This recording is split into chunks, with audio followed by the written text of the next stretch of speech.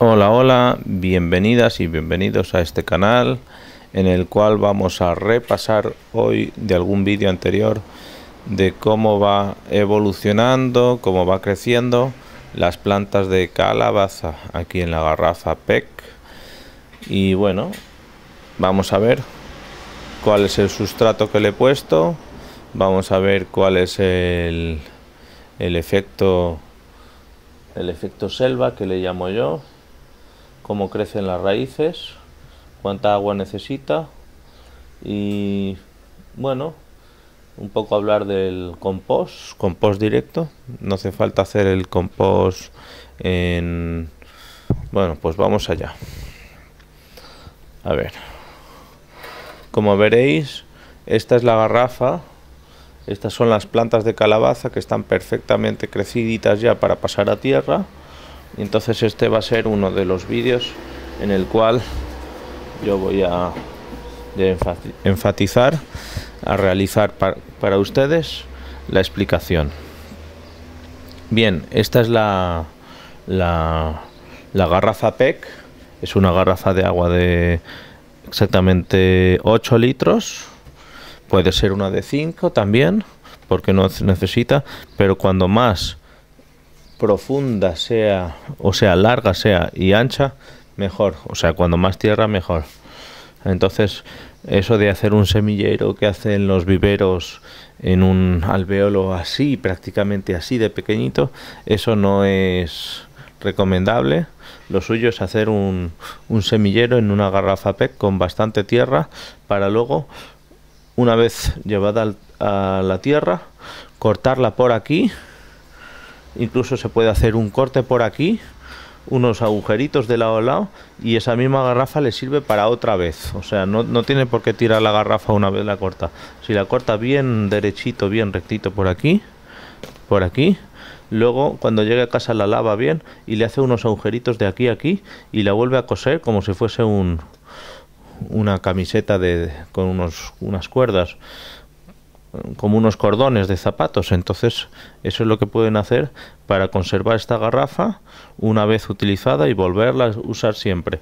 Y a la planta siguiente le dará igual que aquí tenga una pequeña ranurita por la cual respire porque le irá bien y además usted la puede unir con una cuerdecita cordoncitos ataditos de aquí aquí aquí lo une y ya luego lo rellena con tierra otra vez y lo vuelve a, a utilizar entonces este sistema es bastante bueno eh, vamos a ver esta esta tierra es tierra negra de bosque de mata esta tierra es tierra de mata. Eh, vamos a verla un poco más de cerca, a ver si puedo mover el móvil. Ahí está. Esta tierra es tierra negra de bosque. Y bien, y estos que veis aquí son cáscaras de huevo. También por aquí le había echado una piel de plátano. Entonces puede ser un poco de tierra, dos o tres cáscaras de huevo, un poco más de tierra, unas cáscaras de plátano, unas pieles de cebolla, un poco más de tierra y así vas eh, produciendo lo que le gusta a las plantas, que haya una materia descomponiéndose, que haya una materia, ahí no se me ve, ahí, que haya una materia descomponiéndose continuamente y entonces por aquí arriba le vas echando las semillas y un poco más de tierra y un poco más de semillas y un poco más de tierra. Entonces, las semillas no tienen que estar más profundas de una, una profundidad así y tiene que estar la tierra bien suelta. De ahí que le va bien la tierra de mantillo de bosque, ya sea de mata, de algarrobo, o, o sea, cualquier... Y si no tienen eso, pueden ir al parque de su decirle a un barrendero que le guarde unas hojas o ustedes mismos mismas recogen unas hojitas de la calle y entonces con esas hojitas usted se hace una tierra negra pero ya directamente aquí se va haciendo sola solo con un poco de tierra ya sea comprada o mejor que ustedes la recojan de un de un bosque de debajo de los árboles esa tierra es la más fértil y es la que más es apropiada para las semillas ¿Vale? Luego he sembrado, como veis aquí, unas bolitas de cilantro. Eso no sé si llegará a germinar, pero se supone que sí.